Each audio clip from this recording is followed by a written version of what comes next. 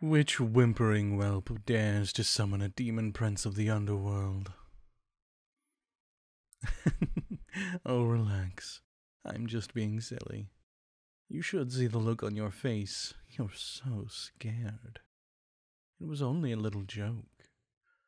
Hello there, darling. What's your name? Hmm, humans always have such strange names. No offense, of course. I would tell you my true name, but uh, I don't think your vocal cords are flexible enough to pronounce it without tearing. You may call me Malos. It's a rough approximation. Oh, it's so good to be back in the mortal fold again. All these heady, earthy scents and aromas. We simply don't have anything like this in the underworld. Down there, it's all brimstone all the time. Gets old after a while, especially when you're immortal. Anyways, let's get down to business. I assume you knew what you were getting into when you performed that ritual to summon an incubus? Don't flatter yourself. No one really knows what they're getting into when they call upon one of my kind for the first time. They think of us and their mind immediately goes to pulp romance novels and salacious cartoons. They picture some cute crimson skinned man with stubby horns and a pointy tail.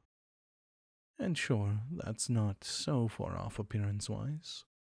But my looks are just the tip of the iceberg. You have no idea what you're really in for. Oh, I can see you're getting frightened again. I can sense that cold trepidation radiating off of you. The mortal emotion of fear is something of a delicacy for my kind. I hope you won't mind if I bite off a little taste here and there. After all, I'm about to give you the most indescribably pleasurable experience you've ever had. So it would only be courteous of you to offer me a small reciprocation, wouldn't it? An incubus is the soul of pleasure. We are the sons of Lord Asmodeus, the Prince of Lust. Each of us are born from the essence of raw passion and carnality itself. Each of us is a perfect sensual instrument, capable of inflicting the most vicious pain and inspiring the most visceral pleasure. And as for myself, well, I don't mean to brag, but I am one of Daddy's favorites. So go ahead, Master. Pick your poison. Your wish is my command tonight and unlike a genie, I give a lot more than three, if you know what I mean. What's the matter? Cat got your tongue. Oh my, all you humans rush headfirst into black magic to summon us, and then you get all nervous as soon as you get what you asked for. No worries, though. I'm good at dealing with flustered mortals. Let me guide you. Take off your clothes. You don't want to take your clothes off. Oh, would you prefer I rip them off you, sweetheart? My pleasure, but I'm afraid I can't promise I won't leave any marks. You don't want to take them off? Oh, Okay, well, we can do this however you like, but we'll obviously have a hard time with certain parts of this unless you at least. What did you say? Cuddle. You just want to cuddle? You're kidding. You don't want to do anything else? You don't want to have sex with me? You don't want to do any BDSM? You don't want me to squeeze lemon juice into your eyes and hit you in the crotch with a croquet mallet while I sing Somewhere Over the Rainbow or some other equally debauched fantasy? You're telling me that you really invoked the black arts and reached down into the lightless depths of hell to summon an unconsciously beautiful being of pure lust into your very own bedroom just to cuddle. That's like using a nuclear warhead to boil an egg. Are you are you sure you don't even want some light torture first? I no, I mean I'm sorry. I'm not trying to make you feel embarrassed. It's just this has never happened to me before. I mean, believe me, I've fielded every sort of obscene request you could possibly imagine, and a dozen on top of that. There are a lot of twisted little perverts crawling all over this strange world of yours. Not sure if you've noticed. But no one has ever summoned me just to hold each other for a bit. You had a bad day. Well, I'm sorry to hear that, truly. I don't like it when humans are sad. Unlike fear, sorrow tastes horrible, at least to incubi. And honestly, it makes me feel bad for you guys. But I'm not really. Wait. I'm sorry, I didn't mean to make you feel self conscious. I, I get it. I sometimes have bad days too. I live in hell after all. That's not always pleasant. I have days when I feel down too. In fact, I've lived so long I sometimes have bad decades. So I get it. Really, I do. I guess perhaps it's not so strange. I mean, you summoned the incubus to give you what you desire the most, and what you desire the most right now is to be cuddled. And I've never been one to argue with desire. Yes, I'll give it a try. Where do you want to start? You'd prefer it if I took charge? No problem. I prefer that actually. Okay, here. Get in the bed and I'll join you. There we go. Nice and comfy with the covers over us. Mm. Your room is all warm and toasty. I like it. Here, let me put my arms around you. Snuggling close, your body is warm too. I'll just bring my fingers up to stroke your hair. Don't mind my claws. I promise I won't scratch you. My other hand can slide up your back here and rub it a little. Does that feel good? Good. I want it to feel good. Hmm. Bring your face a little closer and look into my eyes. They say an incubus's eyes are usually his most attractive feature. Did you know that? Look up at me. Don't be shy. Your eyes are very pretty, too. It's okay that they're a little wet. I don't mind. Emotion is the most beautiful power you humans have. Never be ashamed of feeling it.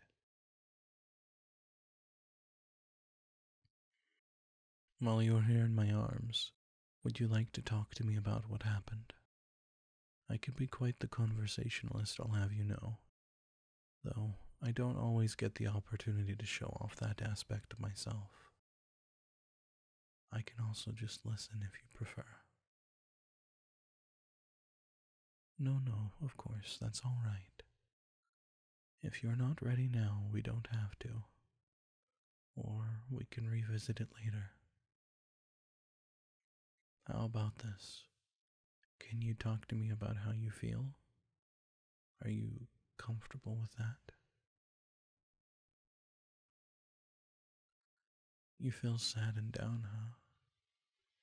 I can feel it too. I can sense it. But sometimes it helps to say it out loud. I want you to know something. You're safe here. You're loved. Whatever happened, however you feel, you're here in my arms now, and nothing else in the world matters outside of that if you don't want it to. Hmm. Snuggle in closer. Your hair is soft. mm, yes, that's it. Nuzzle into me. Our noses are almost touching. you know, I actually appreciate that you're willing to be so soft with me. So many humans are so threatened by me they put on all this false bravado and bluster, which of course I'm obliged to indulge. But you're not afraid to just wear your heart on your sleeve, and that's very brave of you. It is, I mean it. I just gave you a genuine compliment, however much that's worth from a demon. you seem very sweet. I'm sorry things have been rough for you lately. I wish I could help, but there's only so much even someone with my power can do. But I do hope by being here to hold you, to cuddle you, I'm helping at least a little. Am I? Do you feel a little better? That's great. That makes me so happy to hear. I suppose even a demon prince of hell likes to feel wanted, huh? Oh, thank you. You're wanted too. I want you. I want you to feel secure and safe and perfectly cared for in my arms. Say, would you like to try one other thing? Would you like to kiss me? It's alright if you don't, it's entirely up to you. I'd like to as well.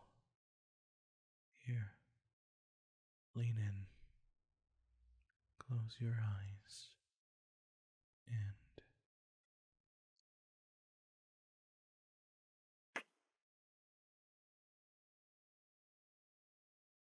mm, soft lips, soft hair. You're all soft. I liked that. Yes, did you like the taste?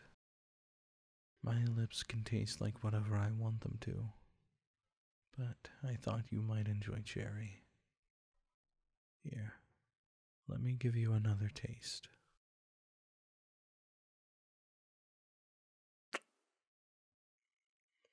Hmm. Your little laugh is so cute. Oh, I left a bit of red on your lips. Let me brush that off for you. Can I ask you a question? What are you feeling right now?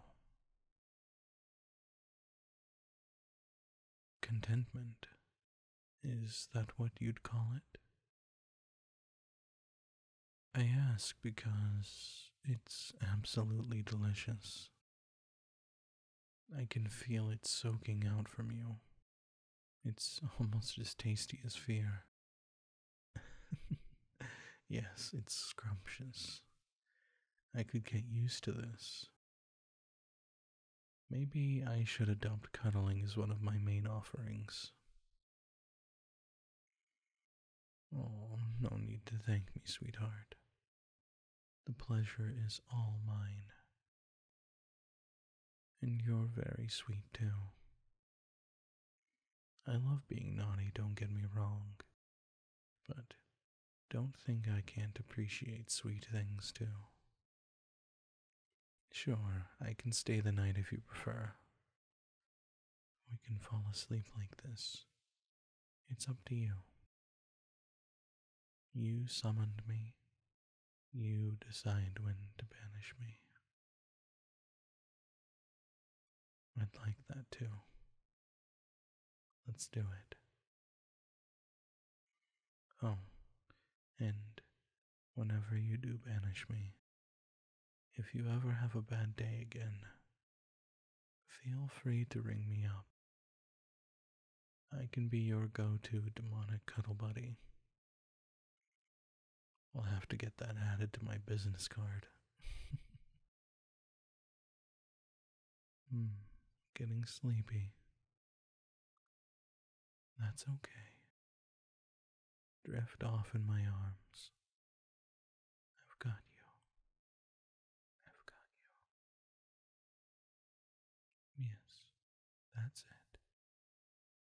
Now rest your eyes. Let your head fall into my chest and dream sweet dreams for me.